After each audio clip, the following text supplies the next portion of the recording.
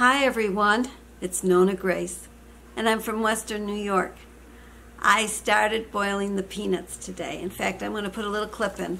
This is the bag that they that it came in. It's it's empty now, but it's the Valencia peanuts that Bob from Mountain Crest Farms. I won those from him.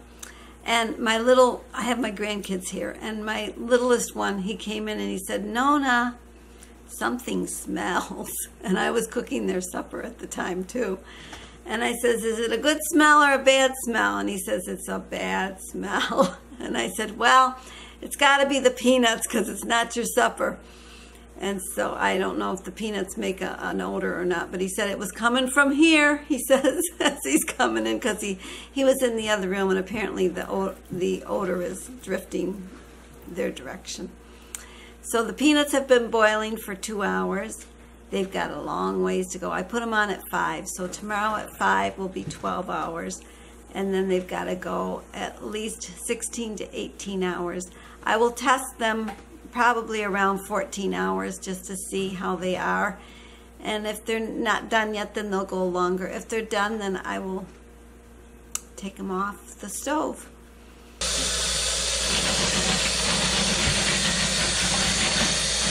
Oh my goodness gracious me. I'm just rinsing them in some cold water.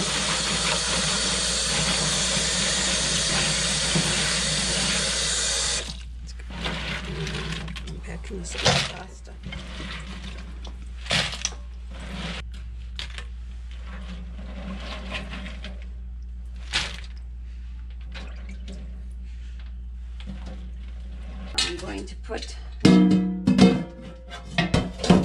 Here.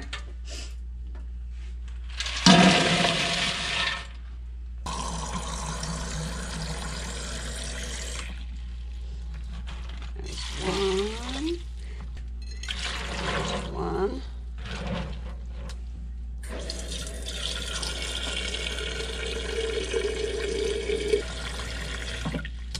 there's two.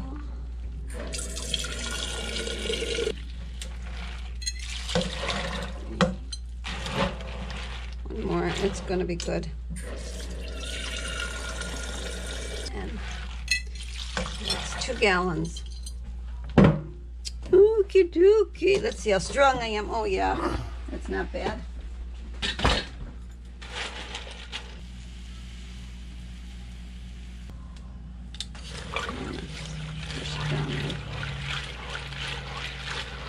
You have to be quiet in this video, yes. And the kid, in fact, the little, the the other, not the youngest one, it was the second to the youngest. I have four of them here right now. There are, there is seven. Um, one wanted to stay home, and two of them are at their father's house, so they will be over tomorrow. But um, I have four of them for tonight. And he says, Can I eat those tomorrow? No, yesterday? Can I eat those yesterday? And I says, You mean tomorrow? and I said, Yeah, you can eat them tomorrow. It's funny how kids don't understand today, tomorrow, and yesterday. It's um, very confusing to them. But he can have them tomorrow because yesterday is gone. And tomorrow is to come, which will become today. So he'll be eating them on Sunday because they have to cook a long time. I was watching a video today that they were talking about, it's about food again, people. I know, I gotta put it in there. But um, it made me chuckle because the um, they always say, eat your oatmeal because it's healthy, heart healthy, and good for you and the steel cut oats are supposed to even better. They're not. They just cost more. And in the video they were the um, it was Mike from Carnomad that was talking about this. And um, he said in the in the early early years in the I wrote it down in the um, Victorian Eng Victoria England in the Victoria times in England what did they call oatmeal at the time? And I said it before he even said it, but it was called gruel. So, and then he gave the little story about the the rich family wanting to know. The kids were asking, "Why can't we have gruel?" because we're not poor enough, and I I just got a chuckle out of that. So it was for the real poor people. So those of you that want to eat oatmeal, you're eating your gruel. So make sure you eat your gruel in the morning. it sounds horrible to say gruel. Oatmeal sounds better. It does have a prettier sound, but it's not got any different. It's still, it's like, it's like when I wanted, there was an advertisement on TV and it looked so good and fluffy and really good. And what it was is they were advertising Maypo, and the little boy would say, I want my Maypo. And I asked my mother to buy me Maypo because I thought it looked really good because they had, and the advertisements then had funny cartoons. They weren't like they are today. And it was um, just kind of like a pencil drawing, but it still looked really good to me. So my mom bought me some Maypo, which was oatmeal that had a maple flavor. And it was more like a cream of wheat kind of oatmeal, that kind of um, oatmeal or farina. Like, I don't know if you've had farina or not. Farina and cream, wheat, cream of wheat, I think, are pretty close. Or maybe they're the same thing. I don't even know.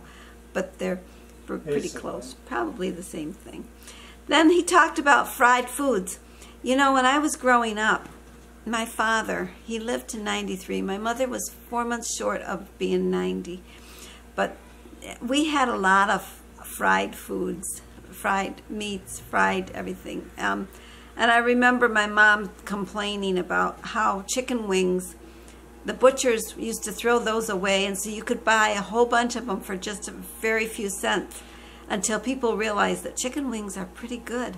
And so they were selling them at a higher rate. And also the oxtail or the certain bones that my mom used to like to get so that she could boil them and make a nice stock. Those they used to get for pennies too, and then people realized that that's pretty good stuff. So now you have to pay a lot more for an oxtail bone. Also, when we used to get the artichokes, artichokes used to be, oh my goodness, they used to be less than 25 cents a piece because nobody was eating artichokes. Now artichokes are expensive too. You go into the store and you, you get an artichoke and it's like probably, two, well around here it's $2, sometimes almost 3 and what you do is when you're going to buy an artichoke, you know, they they think the bigger the better. No, that's tougher. You really want smaller ones.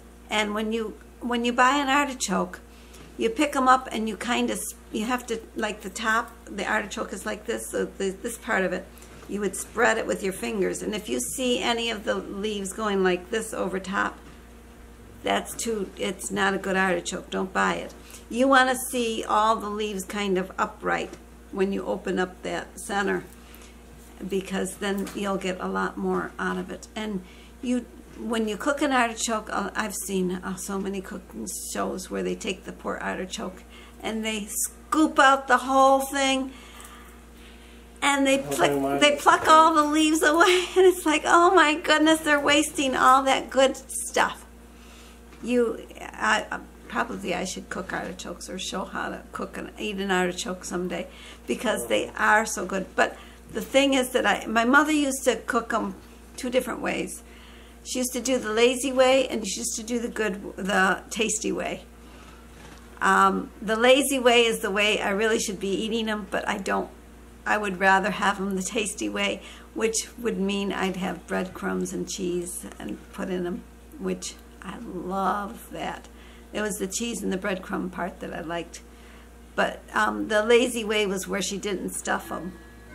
They were just steamed is how they were. You put a little water in the bottom of the pan, put the cover on, and you steam, and when, when a leaf will pull off, then you knew it was done but the artichokes are really, really good. And people that, when you watch the fancy shows cooking, they they just destroy it. They waste it. It's it's so sad. They waste so much of that delicious artichoke. Then the um, my kids, when they would have artichokes, they never liked the heart. You take the choke off the top of the heart, and then the heart would be there. They, they never liked that, and, and I used to like when they didn't like it, and then all of a sudden, their taste changed, and they liked the heart too. So they ate their own heart instead of me eating it. Sounds funny, eating your heart. Eat your heart out. Artichoke heart, yes, not your own heart. Although you can eat heart. Um, we used to eat heart, going on to hearts. Heart, we used to heart, eat the beef heart. Beef hearts is what we ate. And we ate um, beef liver, of course. I never liked liver, and I'm almost afraid to cook it again because I, I remember it as a kid and I didn't like it. Maybe I would like it now, I don't know. But I know my mom used to cook liver quite often. She cooked liver, she cooked tripe. I, I liked, I started to like tripe. Tripe was another one that was kind of hard to, to stomach. hard to stomach. It is the stomach. oh gosh. Yeah, it tripe tripe is the is the stomach, the lining of of the cow. It's it's you have to boil it and you have to peel it. It's not an easy process.